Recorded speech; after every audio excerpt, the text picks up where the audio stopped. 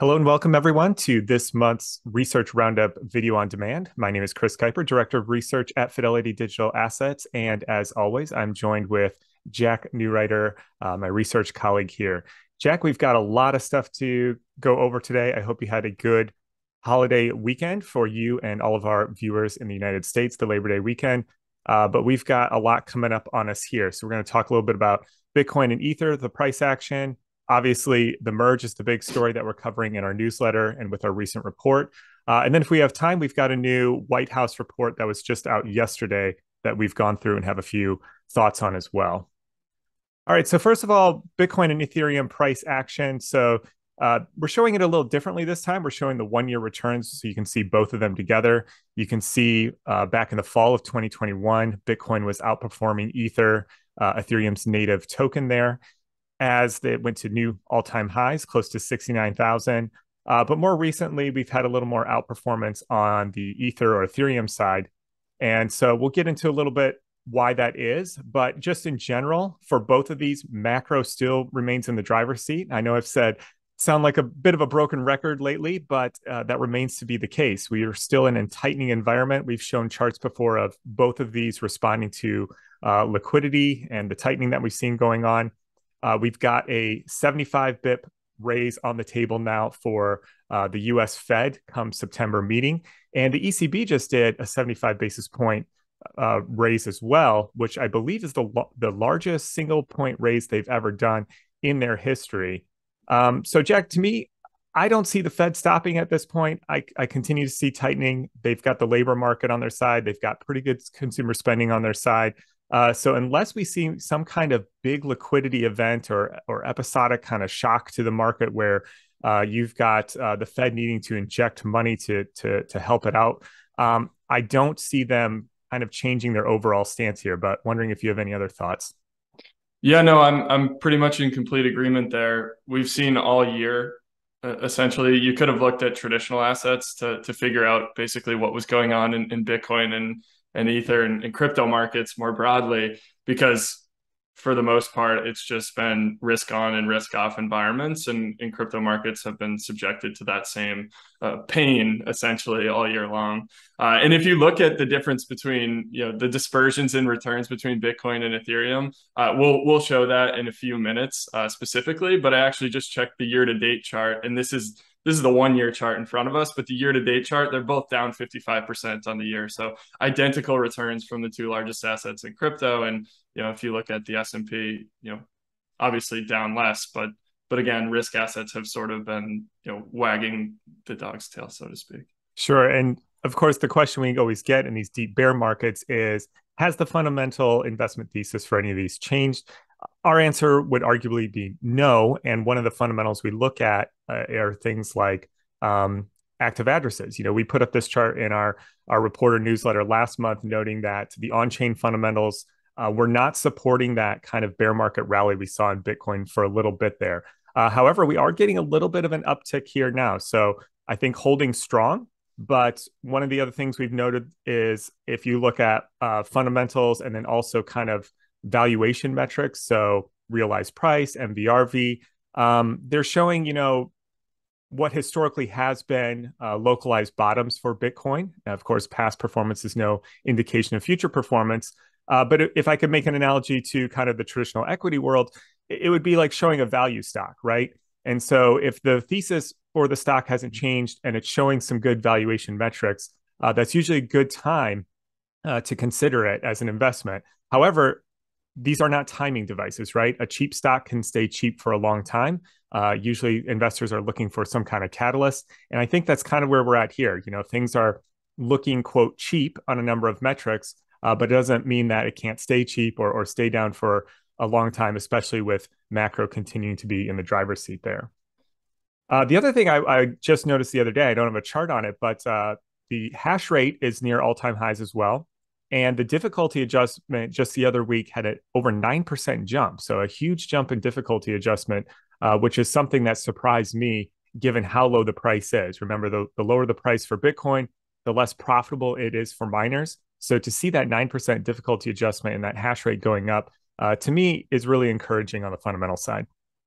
Yeah, I think we could start to see uh, mining equipment, you know, old generation mining equipment, especially with a new wave coming online uh, at the moment, start to like shift hands like we had, you know, previously in the the 2018 2019 bear market, where all the old mining equipment shifted to lower cost energy input places.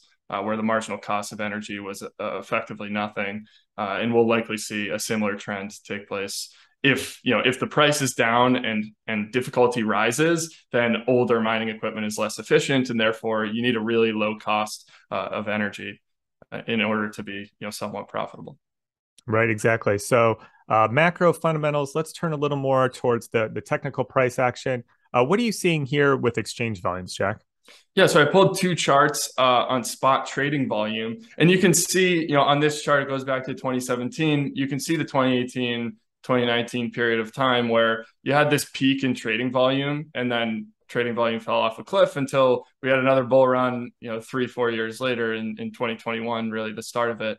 Uh, and then again, you sort of see a similar trend uh, in USD, you know, trading volume, right? But if we shift over to the next slide and we pull it into native token form, right here, uh, you can see that although trading volumes you know fell in USD terms dramatically, and it looks very similar to you know prior bear markets. It's not like everybody just left and, and took all of that liquidity away. It's really just the dollar value of Bitcoin and Ether, like the price has gone down 60%. And so in USD volume terms, the the volume has come down because the price of the tokens come down but the actual like trading volume on centralized exchanges as we can see here hasn't necessarily fallen off a cliff when you look at it in native token terms. And so it's not like everybody's gone uh, and and we need all net new players. It's really just there's you know there's less less trading volume in USD terms because the price of the tokens have fallen. Yeah that's interesting. And in our uh, written report, we actually talk about the percentage of liquid versus illiquid, and you know you can define that however you like. We just said coins that haven't traded in over a year versus coins traded under a year, uh, and we're seeing a move, uh, a bigger percentage of coins traded uh, in uh, coins not moved in over a year increase. So in other words, you know these are coins probably going to longer term or cold storage. Uh, so this is even more surprising to me that you're still seeing a lot of trading, even though more and more exchange are kind of, or more and more uh, coins are being removed from exchanges and removed from circulation, so to speak. Yeah, and worth noting that if you look at decentralized exchange volumes relative to centralized exchange volumes, centralized exchange volumes have held up far better uh, than decentralized exchange volumes, which is just you know interesting because decentralized exchanges, all of that capital has to be natively held on chain versus you know, centralized exchanges, uh, you have you know capital that can flow off chain uh, with fiat on and on ramps as well, and so it's held up relatively better. Interesting. Uh, yeah, and so next, if we shift to this is you know year to date price charts uh, of Bitcoin, and then we have Ether on the next slide. Uh, we can see what I would call sort of a, a scary uh, tapping of resistance, basically all summer long. I mean, if you look at the chart in June, you could have just gone away you know when when the price of bitcoin was at 19k in june and effectively nothing had happened over you know the, the course of the entire summer you could have gone on vacation. Uh, and you know it's interesting you continue to see bitcoin bounce off of this support level and the question is how many times can you bounce off of that support level uh, and, until it becomes you know flipped and becomes resistance. Uh, we we saw you know a similar period of time if you look on the chart from May to June where you bounced off of support and then the price fell 30% because eventually that support didn't hold right? There were too many sellers and it just couldn't take it.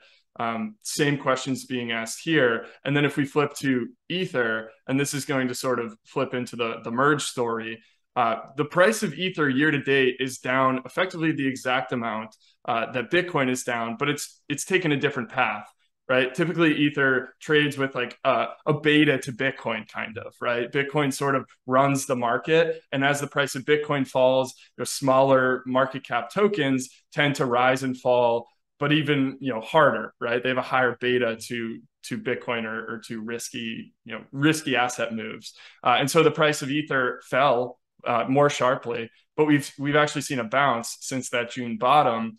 Uh, you know, upwards of fifty percent at the time of this you know speaking. And I think a lot of that has to do with the narratives uh, around Ether at this time versus versus Bitcoin's narratives, where there are narratives around this merge that's coming next week that, that we'll talk about in a minute. I don't know if you have anything else to add before we flip into the merge. Um, but for me, this is the big talking point is why is the price of Ether bouncing since June, where the price of Bitcoin is, is still sort of stagnant in large part? Yeah, I don't have a slide here for it, but Bitcoin in particular has just really been uh, hammered or, or, or suppressed by the strength of the dollar because, of course, we're looking at Bitcoin in dollar terms, the dollar index DXY has been on an absolute tear. And it's done that because of weakening in, in all the major currencies of the basket, the, the euro, the yen, the British pound.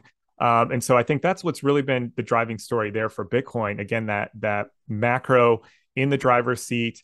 And uh, really what's unique about this, you know, the, the most dangerous words in finance, they always say is this time is different. So I don't want to say that here, but I will say Bitcoin has never been through a, a, true recession or bear market, right? It it didn't even exist until early 2009. It didn't really have a price until well into 2010 and wasn't even traded until you know well into 2011. Um, so unless you count the COVID recession, which was so short and so sharp, uh, and Bitcoin sold off with everything there as well, uh, we haven't seen it gone go through a, a true recession. And, and it's unique this time in that bonds, equities, everything except maybe commodities are all selling off. And so we wouldn't expect Bitcoin to be any different here in this environment where, uh, you know, cash and, and volatility are the only things that are providing uh, safe safe havens for people right now. Uh, but going back to, to Ether, so why is Ether moving more than Bitcoin, as you uh, alluded to here? Well, we've got the Ethereum merge. So we don't want to get too much into this because we just put out a report. We we cover more details in our latest uh, newsletter and blog post, but uh, you can download the report on the URL below there, or look at the uh, point your phone to that QR code to go directly to the download. Uh, but Jack, just real briefly, um, what are your thoughts around the merge here and what's going on um, with the price of Ether? Yeah, in some ways, I look at it as Ethereum fights a battle on two fronts uh, not to go on a tangent, but one of those fronts is like the technology battle, and that's the network battle against alternative layer ones, primarily a defensive battle for Ethereum, right? Because Ethereum was you know the first Turing complete smart contract layer one platform, and then after that you had all these different offshoots uh, and competitors, and we've seen periods of time where you know there's there's demand for ethereum block space and then fees get really high and then that that basically pushes people into other ecosystems. And those are competitive layer ones. To me that's not what this is about. It's not about scaling making transactions happen faster or cheaper. Uh, this is really about in a lot of ways i look at it as like this offensive battle uh, against like bitcoin in, in some respects of ether the token or the asset becoming potentially more attractive to you know your your average investor um, because of some of these you know benefits that are highlighted here the reduction in energy consumption which of course comes with trade-offs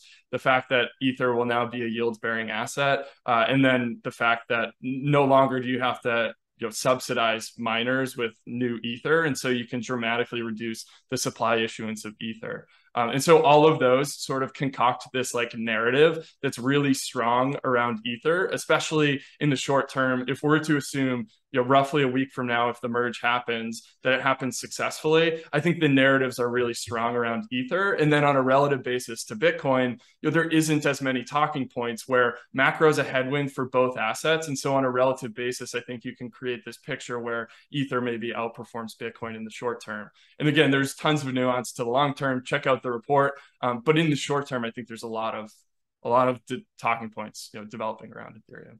Yeah so those talking points pushing the outperformance gets to our next slide here, which is uh, Bitcoin versus Ethereum. A lot of people show the the token price, uh, but we've actually shown it here as a percent of market cap, which we think is you know a little more accurate uh, to show the the total amount because the the supply, of course, can change and and just showing the price of the token uh, is in a true relative figure here. So uh, here we've got it pushing up against those kind of previous highs of I don't know where that's from 55% of, of Ethereum's market cap versus Bitcoin.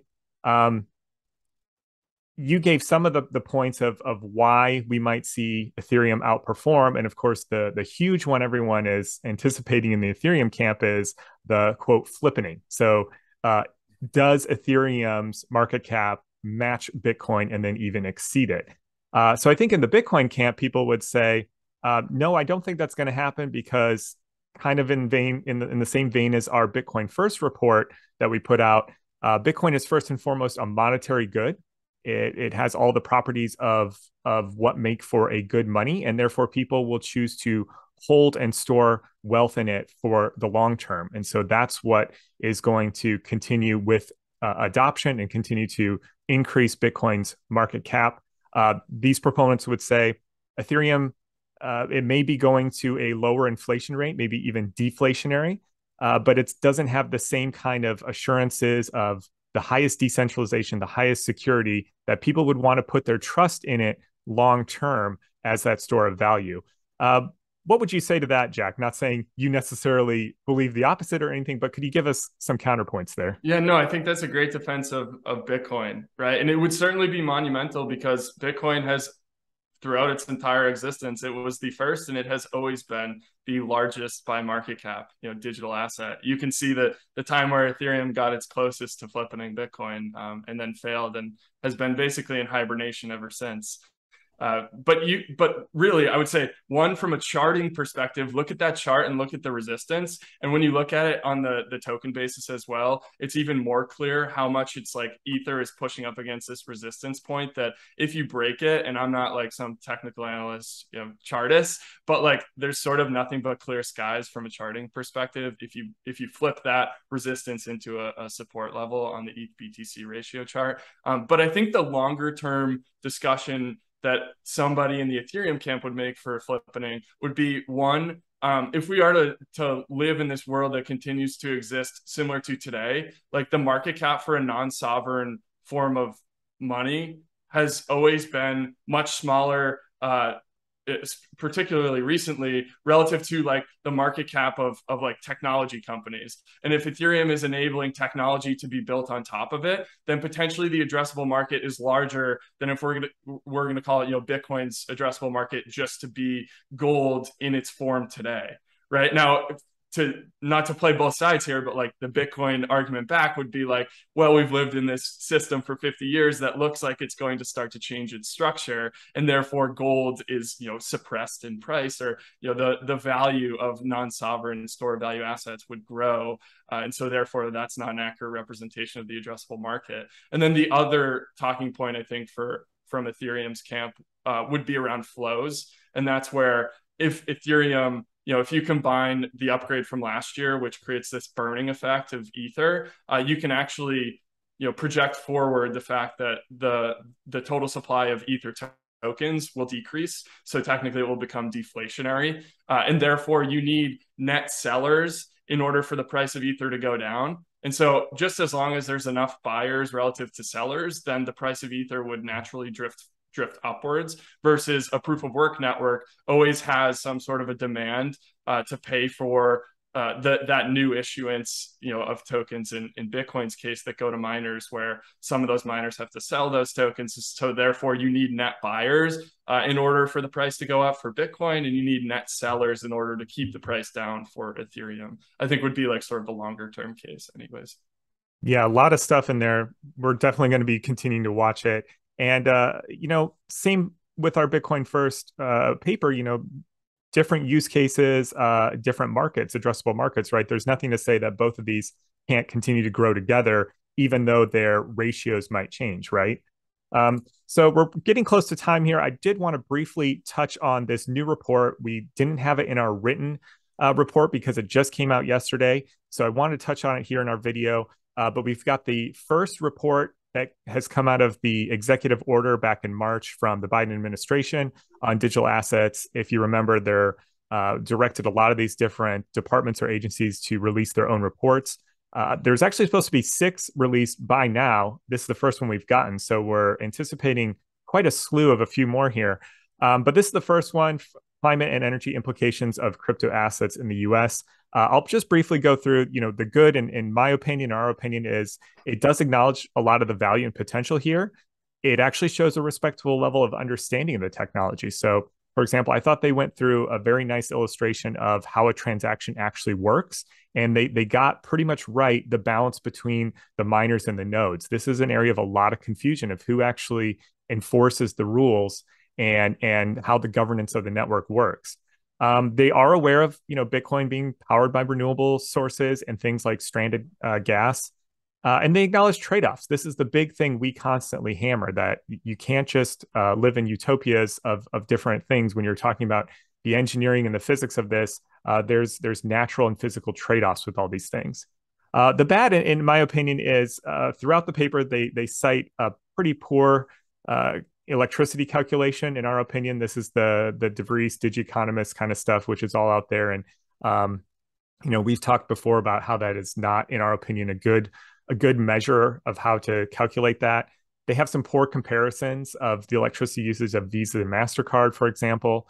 Uh, and then the big one that's gotten people riled up is this language around a potential executive or legislative action to reduce energy use. Now, to be fair, it's pretty vague, so there's there's nothing with teeth there. Um, but the fact that they're thinking about it is is maybe some cause for concern, but something we'll continue to to monitor as well. Uh, so I think that's about all we have time for today. Uh, continue to go to fidelitydigitalassets.com, click on research to see that latest report on the merge, and we will see you next month. Thank you for watching.